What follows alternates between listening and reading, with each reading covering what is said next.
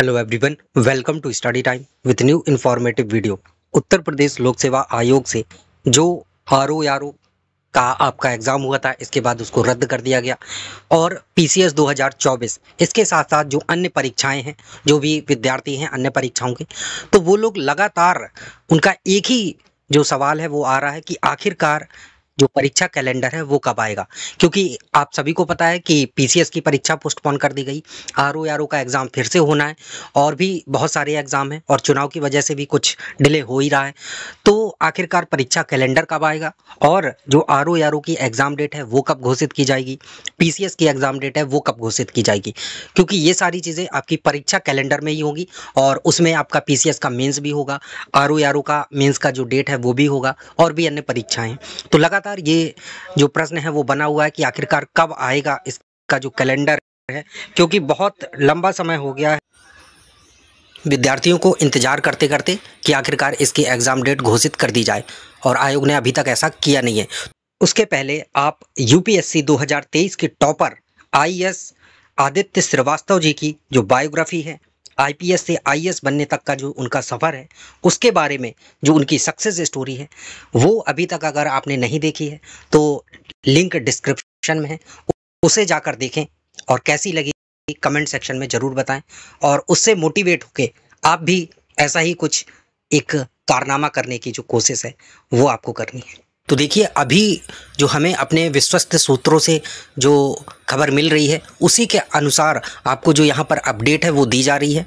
और जो लोग आप इंतज़ार कर रहे हैं कि आखिरकार परीक्षा कैलेंडर कब आएगा, क्योंकि लगातार कई जो टेलीग्राम चैनल है, उनके माध्यम से भी जानकारी दी जा जा रही है। कई यूट्यूब चैनल है, उनके माध्यम से भी कि कैलेंडर बन गया है, कैलेंडर जारी होने वाला है, ये होने वाला है, वो होने वाला है। तो ऐसा कुछ भी नहीं होने वाला है। और अभी सारी चीज़ें आयोग में ये कह सकते हैं कि ठंडे बस्ते में है, क्योंकि अभी चल रहा है चुनाव, और सारी जो चीज़ें हैं वो चुनाव के बाद ही आपकी होंगी। आचार संहिता लगी हुई है, और इसके बाद ही जब आचार संहिता ख़त्म हो जाएगी, इसके बाद ही आपका जो परीक्षा कैलेंडर है, वो जारी किया जाएगा।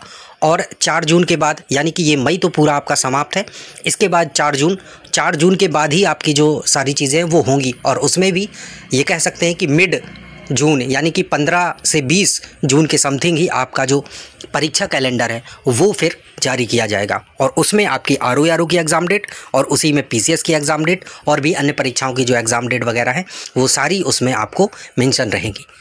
तो परीक्षा कैलेंडर आपका जून के बाद ही सॉरी मिड जून के बाद ही आएगा, यानी कि पंद्रह बीस जून के समथिंग ही आपको इसका परीक्षा कैलेंडर देखने को मिलेगा। इसके पहले कोई भी जो उम्मीद है, वो मत रखिए।